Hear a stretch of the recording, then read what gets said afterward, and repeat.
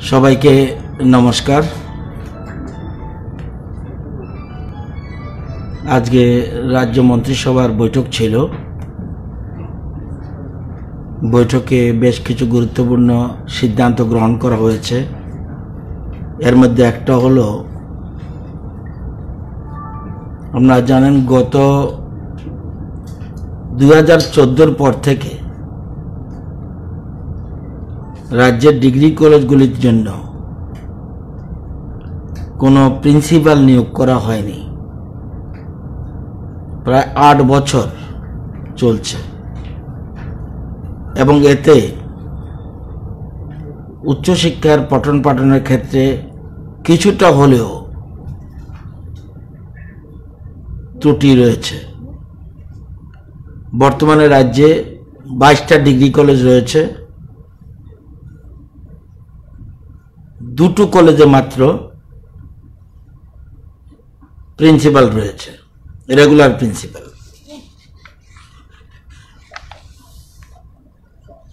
আমরা আজকে মন্ত্রিসভা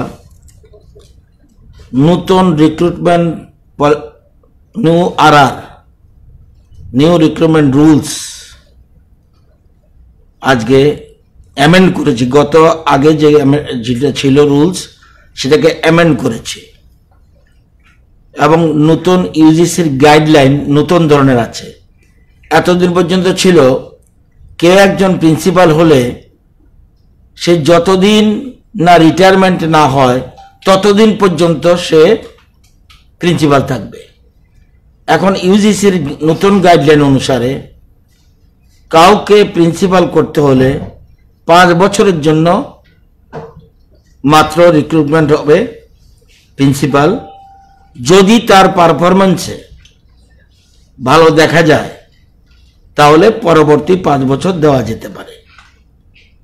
নতুবা এই পাঁচ বছরের জন্যই নতুন রিক্রুটমেন্ট পলিসি আপনারা জানেন যে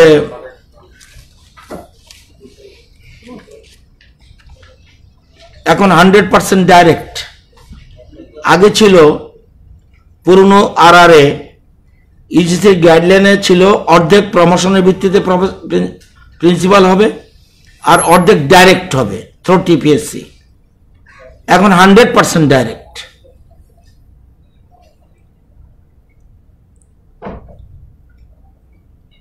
এবং সাধারণত অ্যাসোসিয়েট অথবা অ্যাসিস্ট্যান্ট প্রফেসরের হিসাবে যারা পনেরো বছর কাজের অভিজ্ঞতা থাকবে তাদের এই পদে আসার সুবিধা রয়েছে। আজকে মন্ত্রিসভা এটা অ্যাপ্রুভাল দিয়ে দিল। এই কুড়ি জন নিয়োগ করার জন্য। এদের পিএইচডি ডিগ্রি থাকতে হবে। কোনো পাবলিকেশন রয়েছে কিনা? কোনো রিসার্চ করেছে কিনা? সেমিনার কন্ডাক্ট করেছে কিনা? এই সবগুলি বিষয় থাকবে এবং টিপিএসসির মাধ্যমে আমরা এই লোক নিয়োগ করব। এবং প্রথম যিনি প্রিন্সিপাল হবেন, উনি প্রথমেই বেতন পাবেন এক লক্ষ চুয়াল্লিশ হাজার দুশো টাকা। প্লাস অল অ্যালাউন্সেস তো আজকে রাজ্য মন্ত্রিসভা এ ব্যাপারে সম্মতি দিয়েছে। সাথে সাথে এটা যেটা বললাম, এটা ইউজিসির গাইডলাইন অনুযায়ী। আবার আমাদের পাঁচটা ডিপ্লোমা লেভেল টেকনিক্যাল ইনস্টিটিউশন রয়েছে। মোট ছটা এর মধ্যে একটা রয়েছে টিআইটির সাথে যুক্ত ওটা ওই প্রিন্সিপাল দিয়ে চলছে। আর পাঁচটার মধ্যে একটাতে মাত্র প্রিন্সিপাল রয়েছে। সেখানেও এআইসিটি নিয়ম অনুযায়ী সেম পদ্ধতিতে সেম পদ্ধতিতে আমরা প্রিন্সিপাল নিয়োগ করার জন্য মন্ত্রিসভা, এটাও এই পাঁচটা পোস্ট ফিল করার জন্য মন্ত্রিসভা আজকে সিদ্ধান্ত গ্রহণ করেছে।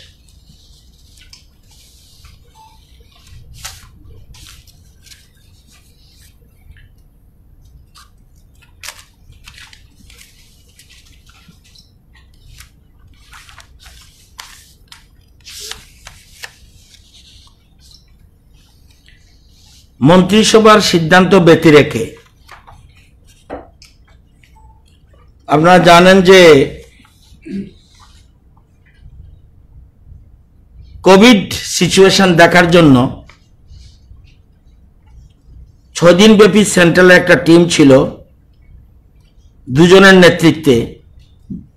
Central team comprising of doctor R N Sinha, director professor public health all India institute of hygiene and public health Kolkata and Dr. Raghunath T.Z., Assistant Professor of Pulmonary Medicine, AIIMS Raipur এই দুইজনের নেতৃত্বে একটা team এসেছিল ছয় দিন ছিল পাঁচ জুলাই থেকে দশ জুলাই তারা হোম আইসোলেশনে যে পেশেন্ট সেটাও দেখেছে হাসপাতালগুলি ভিজিট করেছে, স্বাস্থ্য দপ্তরের কর্মকর্তাদের সাথে মিটিং করেছে, ডিএমদের সাথে মিটিং করেছে, অক্সিজেনের স্ট্যাটাস কী আছে এটা দেখেছে, বিভিন্ন জায়গা পরিদর্শন করেছে এবং যেসব জায়গায় পজিটিভিটি রেট বেশি, বিশেষ করে খোয়াই জেলা, উনকোটি জেলা এবং পশ্চিম ত্রিপুরা,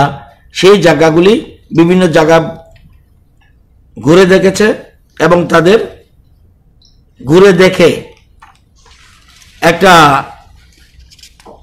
রিপোর্ট পাঠিয়েছে। সেই রিপোর্টে ওরা বলেছে good practices testing capacity in terms of R A T and R T artificial is adequate testing volume is good special initiative for testing Mass testing in rural area where clustering of cases seen. Testing in government, private offices, railway station, hospital, OPD, health camp, etc. Ward-wise testing municipality area, case positivity, positivity still lower than previous week peak যেমন সেপ্টেম্বরে আমাদের খুব পিকে উঠেছিল বলছে case positivity still lower than previous peak with lower এসিপিআর CFR বলেছে Covid war room and command centres are functionally regularly ambulances are available round the clock for patient transport from transport and monitored by a mobile app asha ladies are doing good job in house to house visits and patient mon- monitoring checking of people without masks at police nakas and levying fines for offenders.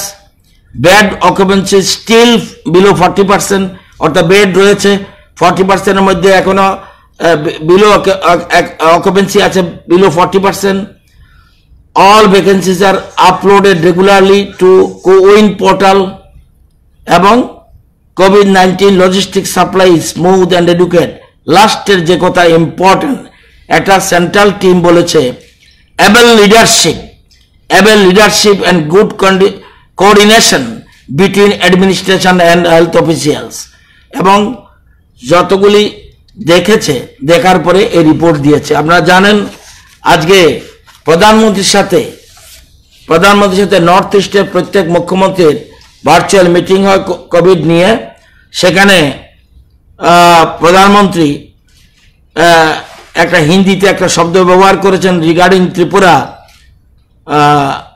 সরাহনীয় কার্য, অর্থাৎ commendable job regarding vaccine উনি আজকে মন্ত- মন্তব্য করেছেন সরাহনীয় কার্য, অর্থাৎ ইংরেজিতে কমেন্ডেবল জব রিগার্ডিং ভ্যাকসিন এ কথা বলেছে। এবং আমরা, এবং উনি সবচেয়ে বেশি গুরুত্ব দিয়েছেন, আমরা সবাই বেশিরভাগ সময় বলি কোভিডের জন্য কি তৈরি আছে?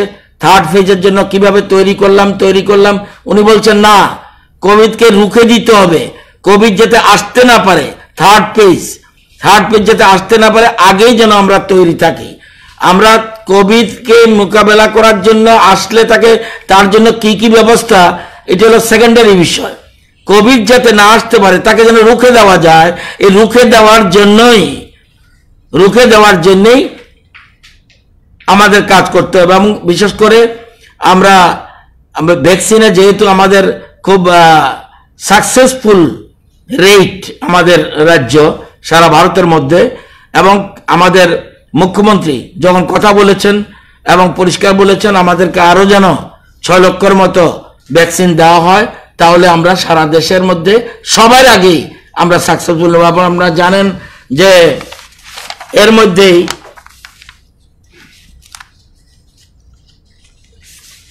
এর মধ্যে আমরা ফার্স্ট ডোজ নিয়েছে আমাদের রাজ্যে বিশ লক্ষ চুয়াত্তর হাজার সাতশো চুয়ান্ন। বিশ লক্ষ চুয়াত্তর হাজার সাতশো চুয়ান্ন আর সেকেন্ড ডোজ নিয়েছে টোটাল বলেছি। আর সেকেন্ড ডোজ ছয় লক্ষ উনষাট হাজার তেতাল্লিশ। এটা একটা রিমার্কেবল স্টেপ আমি মনে করি। এবং এখনও আমাদের স্টকে রয়েছে এক লক্ষ নব্বই হাজার একশো নব্বই। এবং পাইপলাইনে রয়েছে বাহাত্তর হাজার ভ্যাকসিন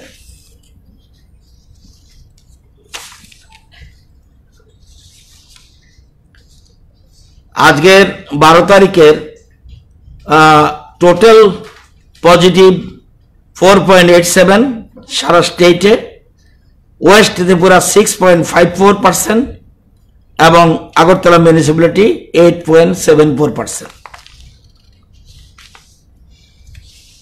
এই।